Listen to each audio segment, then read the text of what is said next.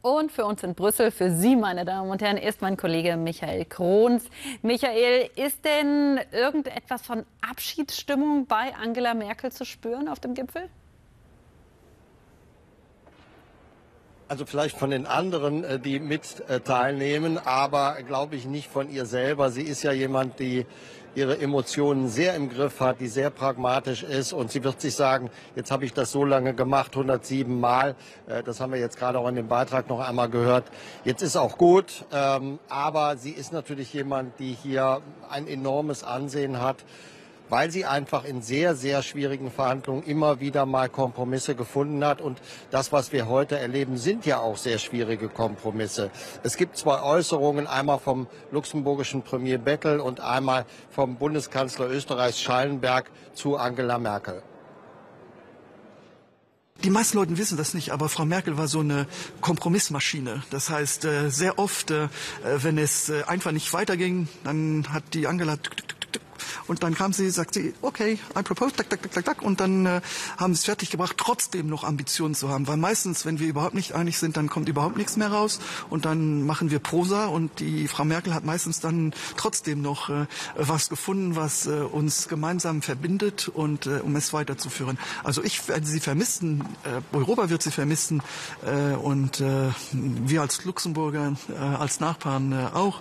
Aber ich, es ist eine große Person, die uns verlassen äh, wird. Ich freue mich auf eine Arbeit mit der neuen Regierung, aber ich muss Ihnen sagen, dass die persönliche Beziehung zu Frau Merkel äh, eine Person ist, die ich sehr, sehr viel schätze und äh, ich werde sie persönlich sehr viel vermissen. Sie wird eine Lücke hinterlassen. Jemand, der so lange in dieser Position ist, so prägend mitgestaltet hat bei der Europäischen Union, wird natürlich eine Lücke hinterlassen. Sie war ein, ein Ruhepol, wenn man so will, äh, innerhalb der Europäischen Union. Und äh, es ist für uns einfach wichtig, dass Deutschland, dass wir wissen, wo Deutschland steht, was ist der deutsche Kurs, wofür steht Deutschland. Da müssen wir sehr schnell Klarheit haben. Und natürlich jeder Wechsel bedeutet auch Änderung. Und sie war zweifellos eine große Europäerin. Ja, soweit zu Angela Merkel.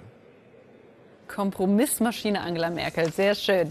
Äh, Michael, lassen Sie uns mal über die Inhalte des Gipfels äh, sprechen. Der Streit mit Polen scheint ja die anderen Themen auf der Tagesordnung irgendwie zu überschatten. Inwieweit wird Polen denn aber in der Abschlusserklärung überhaupt erwähnt werden?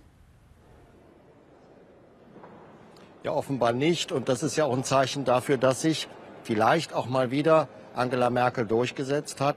Sie hat von Anfang an gesagt, wir brauchen hier einen Kompromiss, wir müssen mit den Polen im Gespräch bleiben, obwohl das eine fundamentale Frage der Europäischen Union ist. Äh, wenn ein Land wie Polen und übrigens gehört natürlich auch Ungarn dazu, sagt, das, was wir hier beschließen in unserem Land, dass wir an äh, Gesetzen umsetzen, das unterliegt nicht den europäischen Gesetzen, den EU-Gesetzen, dann stellt man sich quasi in eine Ecke. Und dann äh, ist im Grunde genommen auch ein Kompromiss sehr, sehr schwierig zu finden. Denn äh, es geht ja um sehr grundlegende Fragen, etwa der Gewaltenteilung. Äh, da gibt es eine Justizreform in Polen, die massiv kritisiert wird, weil sie äh, ja im Grunde auch die äh, Aufteilung der Gewalten in Frage stellt. Also das sind fundamentale Fragen, Fragen, die die Europäische Union zusammenhalten, sofern sie sich alle daran halten. Und wenn dann Länder wie wie Polen oder auch Ungarn ausscheiden bzw. diese Sachen nicht mehr anerkennen, die gemeinsame Hausordnung, äh, wie Manfred Weber das genannt hat, dann wird es natürlich sehr schwierig. Und es ist immer wieder äh, von Angela Merkel der Versuch gemacht worden, ja gestern auch mit Morawiecki äh, zusammenzusitzen und nochmal den Dialog zu suchen, auch bilateral zu sprechen. Äh, es ist jetzt immer die Frage, wie geht man tatsächlich äh, mit einer solchen Problematik, grundlegenden Problematik um. Es gibt ja auch durchaus äh, etwa den niederländischen Premier Rütte, der sagt, man muss da auf den Tisch hauen. Also das sind sehr unterschiedliche um Umgangsformen, die da gewählt werden könnten, um eine Lösung äh, heranzuführen. Aber das wird sehr, sehr schwierig werden. Wie einig war man oder ist man sich denn heute bei den anderen Themen an Tag 2 des Gipfels? Also Stichwort Migration. Ja, alle äh, Länder sehen mit großer Sorge, was da an der polnischen Grenze passiert. Ähm, da wird ganz offenbar von Lukaschenko die Situation ausgenutzt. Man äh, ist in, ähm, äh, bei, bei, Lukaschenko sauer darüber, dass es ähm, Reaktionen der EU gibt ähm, auf die Situation im Land. Jetzt hat man die Möglichkeit, Migranten über die Grenze zu ähm, schieben. Und da gibt es Schlepperbanden, da gibt es äh, organisierte Kriminalität.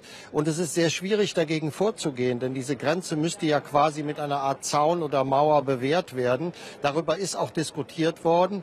Und da wird auch mit Sicherheit in nächster Zeit etwas passieren. Denn es äh, sind ja steigende Zahlen von Migranten, die Lukaschenko offenbar über die Grenze zwischen Weißrussland und Polen schickt. Ähm, bei anderen Fragen ähm, gibt es durchaus Einigkeit. Da gibt es schnell pragmatische Lösungen, äh, Beziehungen, zum Beispiel in Beziehung auf die äh, Impfproblematik. Wir haben ja enorm steigende äh, Zahlen bei den, ähm, bei den Ansteckungen auch in Deutschland. Und äh, da muss man sich fragen, wie man jetzt darauf reagieren kann. Und auch da ist eine europäische Lösung sicherlich die sinnvollste. Schauen wir noch kurz auf die Energiepreise. Die EU-Staats- und Regierungschefs haben sich ja wie erwartet nicht auf ein einheitliches Vorgehen gegen die hohen Energiepreise einigen können. Wie soll es da nun weitergehen? Es gibt drei Möglichkeiten, ähm, bei diesen enorm gestiegenen Energiepreisen zu reagieren. Äh, es gibt einmal die Möglichkeit der Subvention, das heißt äh, diejenigen in der Bevölkerung, die im Zweifelsfall besonders darunter leiden. Und es geht ja nicht nur um das Benzin, es geht um Gemüse, es geht um Obst, äh, was enorm im Preis gestiegen ist. Die kann man direkt subventionieren, denen kann man direkt helfen. Das tun Länder wie zum Beispiel Spanien. Dann gibt es die Möglichkeit, ähm, zu schauen, ob man diese Preise in irgendeiner Form mit den Steuern verrechnet, also Steuerermäßigungen umsetzt. Auch das ist eine Lösung. Die Kanzlerin hat ähm, sozusagen einen Mittelweg eingeschlagen. Sie sagt, nein, wir müssen auch den Marktmechanismus berücksichtigen. Das heißt, sie setzt darauf, dass man im Zweifelsfall über die Marktsituation versucht, die Preise ein bisschen zu senken und zu drücken. Was jetzt der goldene und der richtige Weg ist, das wird sich in den nächsten Monaten zeigen. Ähm, hoffentlich findet die EU da einen guten Weg, denn es ist natürlich so, dass die Betroffenheit in den Ländern überall existiert, aber die Betroffenheit auch unterschiedlich ist. Frankreich mit der Atomenergie ist äh, zum Beispiel bei der Stromversorgung natürlich nicht so betroffen wie andere Länder. Äh, etwa beim Gas muss man schauen, ob man da gemeinsam vorgeht, denn man könnte ja zumindest versuchen, in einigen Bereichen die Gaspreise ein bisschen zu drücken, wenn man gemeinsam als Europäische Union auftritt. Auch das sind Sachen, die in den nächsten Wochen und Monaten sicherlich weiter diskutiert werden. Michael Krohns war das. Vielen Dank nach Brüssel.